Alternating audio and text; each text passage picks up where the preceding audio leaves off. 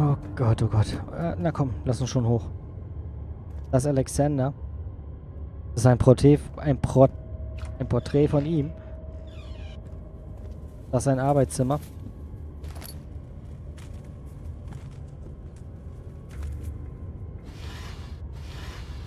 Hier, diese Musik lässt einen garantiert hier nichts Gutes erwarten. Notizen zur Folter. Es sind einige wichtige Punkte über Folter anzumerken. Hatte angenommen, dass die Reaktion der Opfer sehr unterschiedlich sein würde. Glücklicherweise ist das nicht der Fall. Alle Menschen gehen ähnlich mit körperlichen Schmerzen und der Angst vor dem Bevorstehenden um. Ich kann nicht genug betonen, wie wichtig es ist, die Opfer vor Beginn zu benigen. Selbst das schüchternste Geschöpf kann in Gewalt, äh, Gewalt ausbrechen und seine Stärke, die erwartet und seine Stärke, die erwartete, weit übersteigen. Würde der Wille des Opfers gebrochen, sollte dieses allerdings kein Problem sein. Es hemmt jedoch auch den von mir gewünschten Effekt. Demnach sind folgende Schritte einzuhalten. Das Opfer fesseln, solange es noch benommen ist, die Art der anzuwendenden Foltermethode zeigen und mit dem eigentlichen Folterakt beginnen. Das Vorzeigen des Foltermethode soll das Opfer in Schrecken versetzen. Der menschliche Verstand ist extrem effizient. Die bloße Vorstellung an das Bevorstehende versetzt das Opfer in den noch dennoch in größere Angst. Bei Zufügen der Schmerzen sollte zu großen Schaden vermeidet werden, da die besten Ritu Resultate erzielt werden, wenn die Prozesse, Prozesse aufrechterhalten wird. Außerdem sollten die Schmerzen in Dosen zugefügt werden, wenn möglich mit Pausen, damit sich der Körper beruhigen kann. Solange es schl beruhigen kann. Schlagen oder Schneiden des Opfers sollte einmal erfolgen, dann warten, bis der Schmerz vorüber ist und dann wiederholt werden. Solange der Körper leidet, wird Lebensessenz produziert und das Blut mit ihren Eigenschaften gesättigt. Nur bei behutsamer Vorgehensweise wird der maximale gewünschte Effekt erzielt. Verhält sich das Opfer nicht wie erwartet, ist wahrscheinlich, dass alles umsonst war. Um das zu vermeiden, ist Amnesiedrang zu verabreichen und es später erneut zu versuchen. Oh Gott. Aufgenommen eine Schnur. Boah.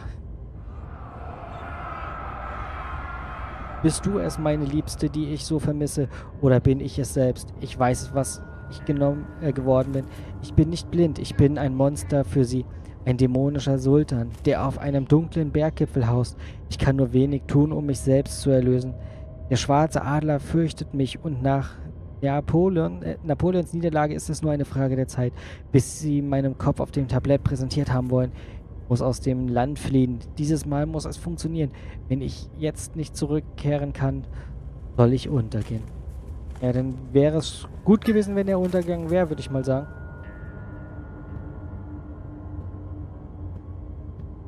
Okay, wir haben jetzt die Hälfte geschafft. Das heißt, wir gehen wieder zurück machen das Tor zu, also sprich den Hebel hoch, äh, runter wieder und den anderen Hebel und gehen auf die Folterkammerseite.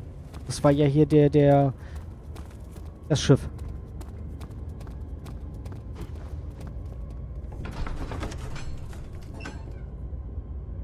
Oh Gott, oh Gott.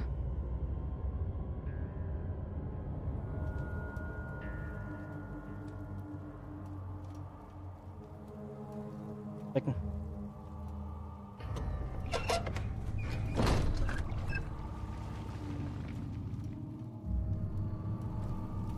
Jetzt gehen wir nach oben, legen dort die Hebel um und gehen wieder runter. Wir brauchen möglichst wenig Lampenöl einfach.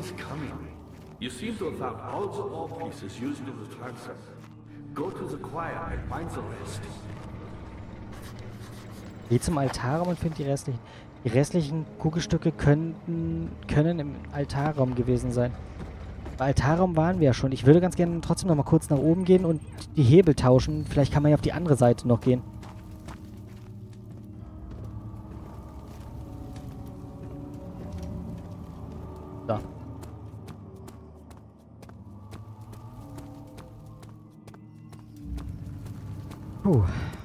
War aber schon etwas eklig da unten gerade. Bärschiff.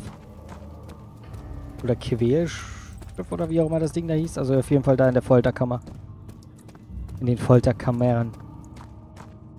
Mal gucken, was passiert, wenn ich jetzt den Hebel runter mache. Das kann man nicht. Okay, aber der geht jetzt auch hoch. Die Laterne ist mit einigen Öltropfen aufgefüllt. Ja, es war ein bisschen Öl anscheinend doch nochmal drin.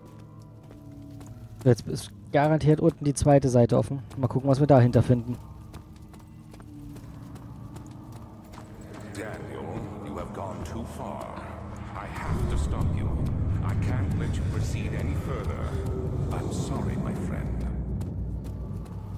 Ich glaube, das war jetzt keine Einbildung mehr.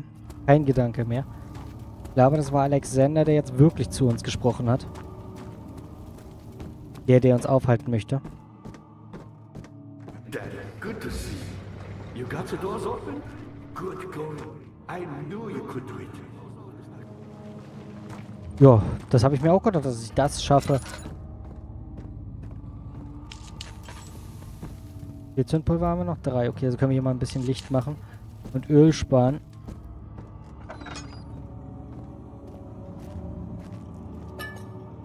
Ja, das hat man im Dunkeln ganz gut gesehen da.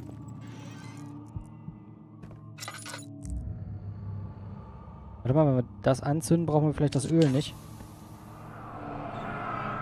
Gott. Bei Höfe, äh, bei Hofe wirft man sich im Orden des Schwarzen Adlers gegenseitig seine politischen Vorstellungen zu, während ich ruhig dasitze, absichtlich vergesse. Ab und zu werde ich von einigen bemerkt und sie senken schweigend ihren Kopf, bis sie sich wieder in den Diskussionen zuwenden. Wir alle wissen, ich bin Alexander, der ihren Vätern und Großvätern half, diesen Orden zu gründen. Ich habe gesehen, wie sie die Plätze ihrer Väter eingenommen haben und auch sie werden älter und dahinscheiden, während ich da derselbe bleibe. Nicht nur die Zeit gealtert, sondern durch Qualen. Wir, wir, also Alexander altert tatsächlich nicht. Er hat eine, also einen Weg gefunden fürs unendliche Leben.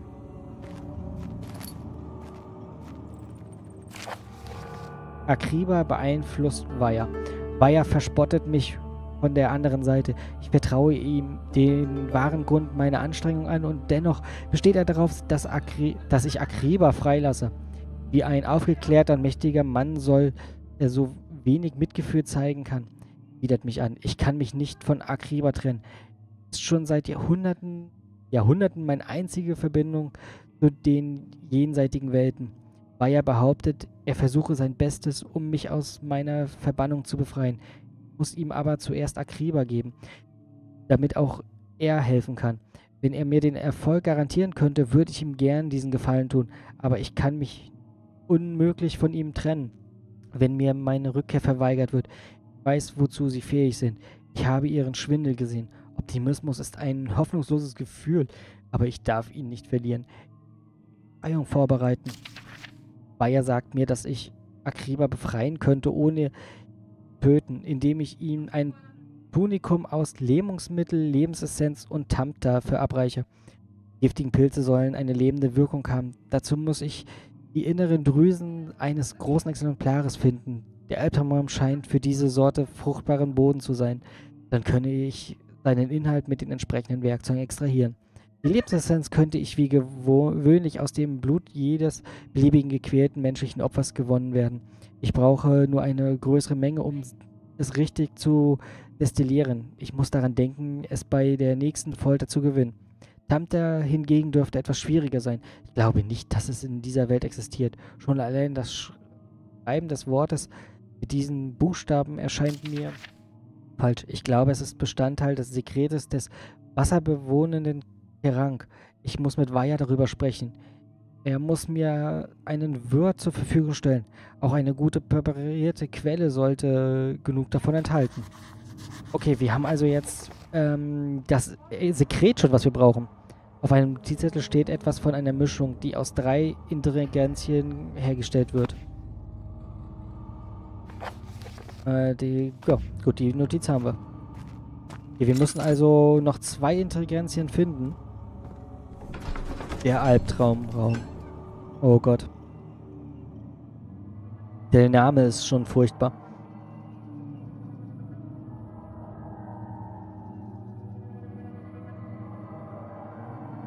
Er öffnet voraussichtlich. Okay.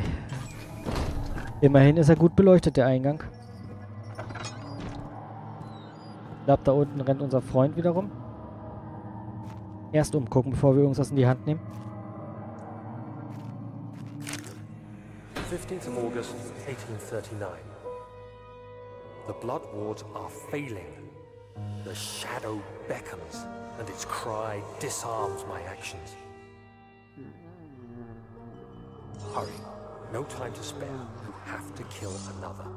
Alexander produces a knife. He wants me to cut the flesh. Do it. Save yourself. He is a murderer, Daniel. He is evil. A cold-blooded killer. Hurry. Alexander, you must let me be. I have to concentrate.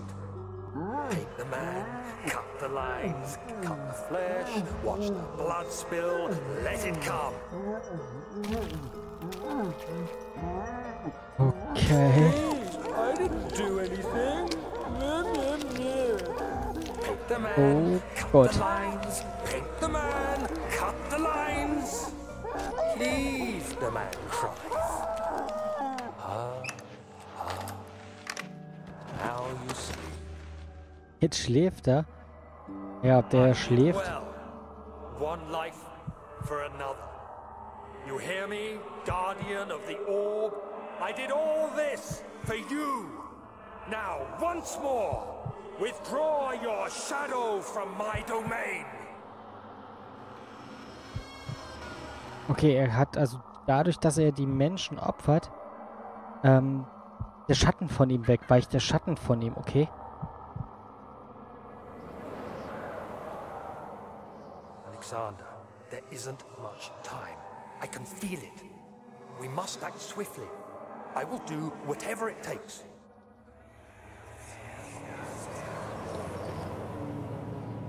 Okay. Jetzt haben wir gerade uns erinnert an diesen Ritus? Oder wurden uns die Erinnerungen eingeflößt? Oh nein, jetzt hängt der hier. Gerade war er doch gerade noch nicht da.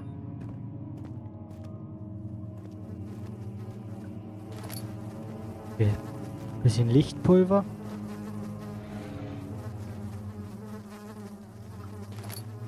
Mehr Zündpulver. Ähm, warte mal, was konnte ich tut da gerade? Nachdem die Männer den Gefangenen gefesselt hatten, konnte das Ritus beginnen.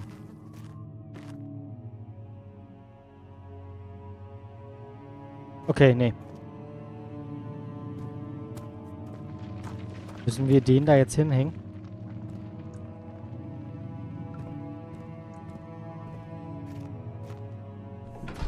Das Hauptschiff.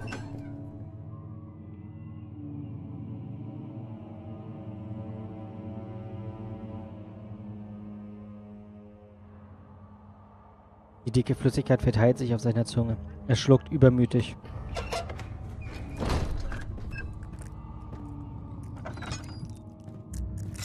Okay, wir werden schon wieder etwas irrer. Hier hinten haben wir eigentlich doch hoffentlich Licht. Okay, das hören wir uns gleich an. Ich gucke erstmal in die Schubladen. Gut.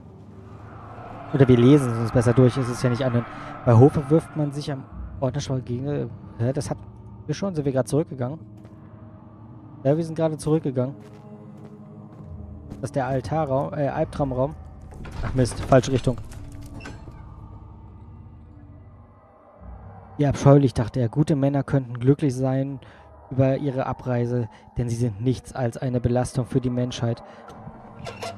Okay, wir sind also in die falsche Richtung gelaufen. Wir müssen nach unten, nicht nach oben.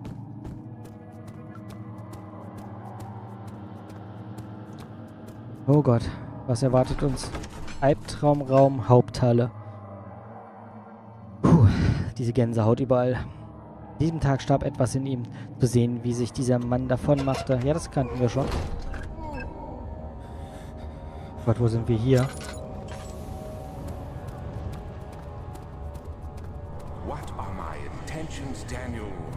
Hier darunter sollten wir, glaube ich, nicht.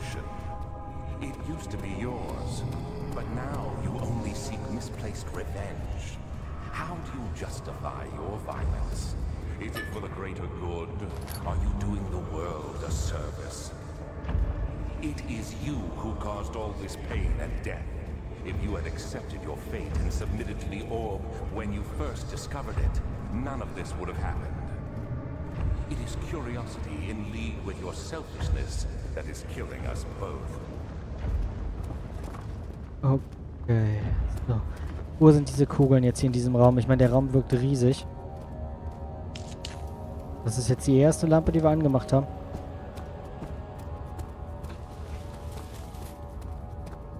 Wir haben einen Raum gefunden in diesem Riesenraum. Die erste Folterkammer. The wheel is good for keeping your victims still during the procedure. They can be bound around the circumference or simply stretched across, tying limbs to the spokes and rim. All tools are by this point useful, and you may administer the torture in any way you like. But the forte of the wheel is the gaps. When you have decided that the victim shall die, you can smash their limbs with a hammer, making them fold in between the frame. But they'll die. Too quickly, I mean. No, don't worry. The human body is much more resilient. They can survive for days until they finally succumb. Okay. Ich, der Typ ist echt krank. Das Rad. Die Gliedmaßen des Mörders wurden an den Radspeichen gebunden. Sie drehten das Rad bewusst langsam, damit das, sich das Seil fest um seine Beine legte, bis die Knochen knackten. Er hatte nicht mehr die Kraft zum Schreien. Die beiden Männer nickten sich zu, nahmen einen Hammer und schlugen mit damit in einem letzten Akt der Gnade auf den Oberkörper des Mannes ein. Ja. Das Stück der Kugel haben wir. Noch irgendwas hier in diesem Raum? Okay, sieht nicht so aus. Der Hammer. Weg damit. Okay, wir werden langsam irre. Wir müssen hier raus aus diesem Raum wieder. Auf in den nächsten. Ich hoffe, dass wir ihn schnell finden.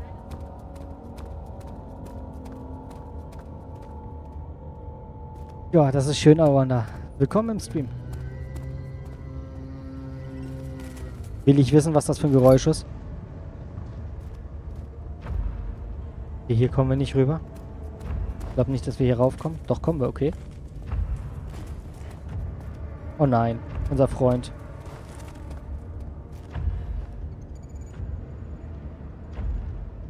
Ja, es, ich war schon auf der richtigen Spur. Man musste das Seil mit einem Stein kaputt machen. So, ich habe keine Ahnung, ist unser Freund jetzt weg? Kommen wir hier rauf?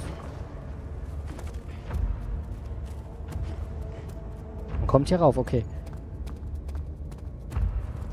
Wäre auf jeden Fall eine Abkürzung, als wenn wir außenrum gehen müssten. Machen wir uns mal hier so ein bisschen Licht ab und an mal irgendwo. Okay, der nächste Folterraum.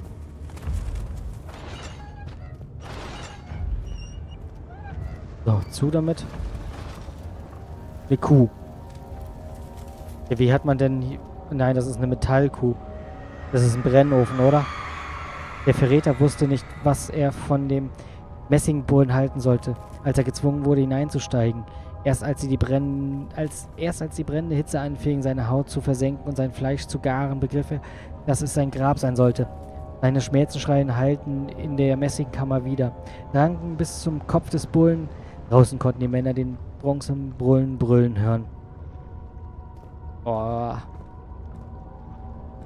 So. Wo ist jetzt hier... Da haben wir das Stück der Kugel. Eins fehlt noch, ne? Eins, zwei, drei, fünf. Ja, eine Kugel müssen wir noch finden, ein Teil. Können wir die schon mal zusammensetzen? Ja, es geht so. Bisschen Magenprobleme heute. Aber sonst ist alles super. Und dir? Gott.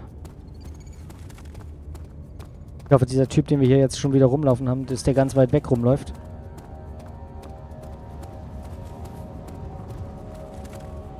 So. Kommt bitte, lass die Folterkammer hier irgendwo sein, die letzte.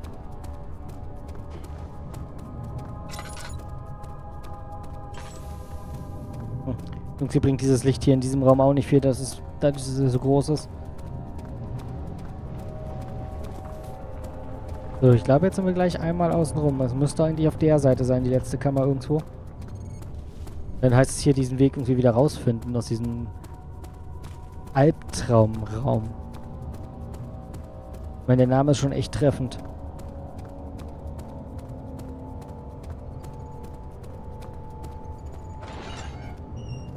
Okay, der letzte Albtraum.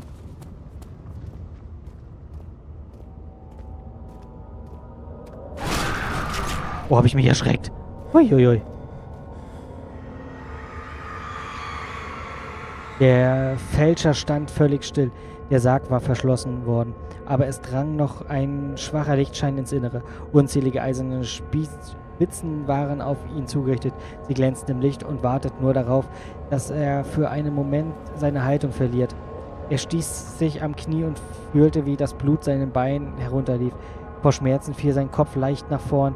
Es dauerte eine Weile, bis er ergriff, dass er sich soeben seine Augen aufgespießt hatte und es nun auslief. Oh, wie eklig. Also diese Folterkammern sind echt schon eklig. So, liegt hier das Artefakt? Weil es leuchtet hier so rot. Kugelteil Nummer 3. Ja, damit müssen wir jetzt in diesen anderen Raum.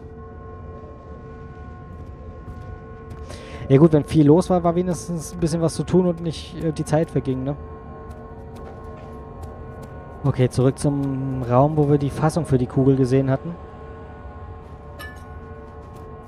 Und raus aus diesem Albtraum.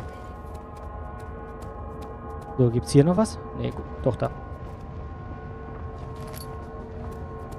Aufgenommen, zündender Buchse. So, jetzt ist die Frage, wie kommen wir hier nochmal raus?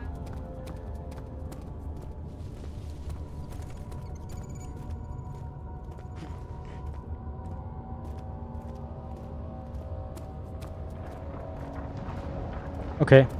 Ja, das ist ätzend, wenn, wenn sowas passiert. Okay. Wo war der Ausgang? Ich habe keine Ahnung mehr, wo wir reingekommen sind hier in diesem Raum. Ja, was eh viel zu groß ist. Der Albtraumraum-Eingang. Puh.